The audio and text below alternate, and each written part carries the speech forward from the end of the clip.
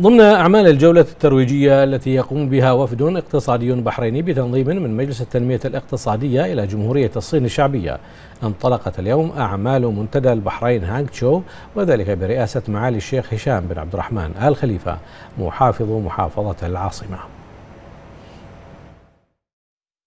انطلقت اليوم أعمال منتدى البحرين هانجتشو الاقتصادي في مقاطعة شيجيانغ الصينية بحضور عدد من المسؤولين المحليين وكبار رجال الأعمال في هذه المدينة وهي الثانية التي يزورها وفد البحرين بهدف التعريف بالفرص الاستثمارية التي تقدمها البحرين لاستقطاب الاستثمارات الصينية والمساهمة في خلق فرص عمل في البحرين. وترافقت زيارة الوفد الاقتصادي البحريني إلى مدينة هانجتشو توقيع اتفاقية التفاهم التفاهم والتعاون والصداقة بين محافظة العاصمة البحرينية ومدينة هانجتشو التي تهدف إلى تعزيز التعاون في عدد من القطاعات الاقتصادية الهامة بالإضافة إلى فتح قنوات التواصل الثنائي بين الجانبين وتنظيم الزيارات لشركات التكنولوجيا المتقدمة.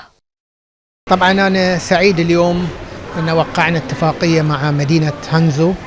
طبعا هذه الاتفاقية الثانية اللي وقعنا في الصين. آه، ولا شك بيكون لها دور كبير في جذب آه، الاستثمار إلى مملكة البحرين خصوصا إن هذه المدينة هي موطن لشركتي علي بابا وجولي الشيخ وكثير من آه، الشركات ذات التقنية العالية وإحنا حريصين ان نستجذب هذه الشركات للاستثمار في البحرين وبالفعل تم توقيع اتفاقية تفاهم بين مجلس التنمية الاقتصادي وجولي الشيخ لفتح فرع لهم في البحرين وإحنا سعيدين إن هذه الاتفاقية بتكون بوابة للصين للاستثمار في البحرين والعكس للبحرينيين والشركات البحرينية للاستثمار في الصين.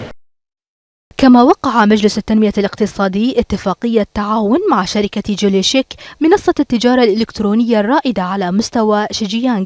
واتفاقية تعاون مع دائرة التجارة في المقاطعة بهدف تعزيز تبادل المعلومات من خلال تأسيس آلية منتظمة لتبادل المعلومات حول الفرص الاستثمارية بين الجانبين. وقعنا آه، مذكرة تفاهم بين الشركة و دي بي وهذه بداية جديدة لزيادة تنمية أعمالنا في البحرين. لأننا نحن نعلق أمال كبيرة على هذه الأسواق الواعدة. وطبعا لما نتكلم في الصين عن البحرين كثير من الناس نعرف كلمة الحرة لهذه الدولة هي بوابة آه، طبعا هذه الأهمية للدولة معروفة آه، أكثر فأكثر في أوساط أعمال الصينية. خصوصا في جوجان أنت عارف هذه المقاطعه آه، شهيرة بإمكانياتها الصناعية والخدمية.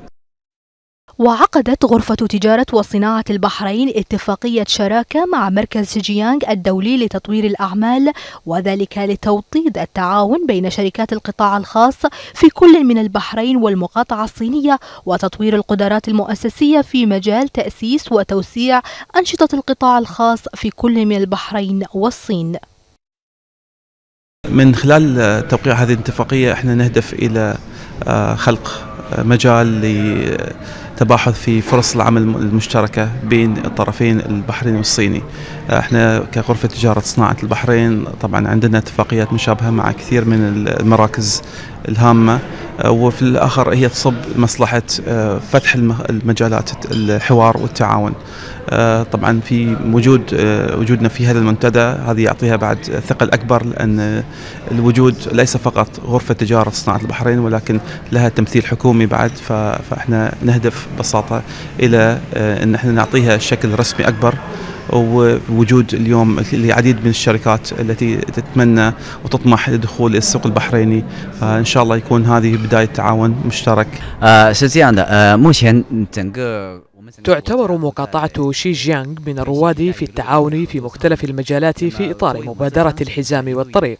ومنطقة الشرق الأوسط تعتبر من أهم شركاء التجارة والاقتصاد لنا. فمع توسع التبادل التجاري بيننا ومنطقة الشرق الأوسط. علينا كذلك أن نعزز التعاون بيننا والدول الأخرى. وتتميز مملكة البحرين بالحرية الاقتصادية. والضرائب منخفضة جدا حتى في بعض الأحيان بدون ضرائب جمركية. ولدى البحرين قدرة شرائية هائلة كما أنها تتميز بعلاقات ودية مع مقاطعة شيجيانغ. لذلك نود أن نطور التبادلات الاقتصادية والتجارية والاستثمارية مع مملكة البحرين. وسيتوجه الوفد البحريني الاقتصادي نحو العاصمة الصينية بكين يوم غد ضمن جولته التي تستمر تسعة أيام لتعزيز الروابط الاقتصادية مع الصين وذلك مع اقتراب البلدين من الاحتفال بالذكرى الثلاثين لتأسيس العلاقات الرسمية بينهما.